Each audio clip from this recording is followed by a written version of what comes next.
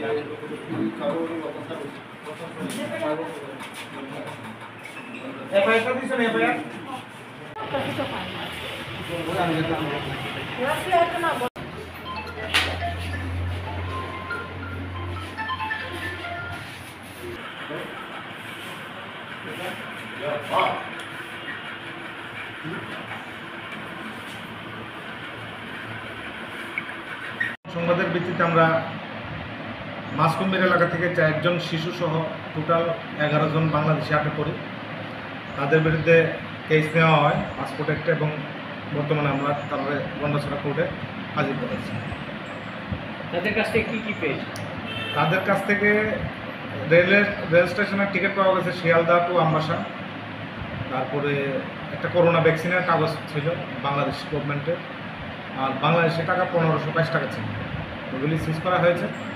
学だったんですけど。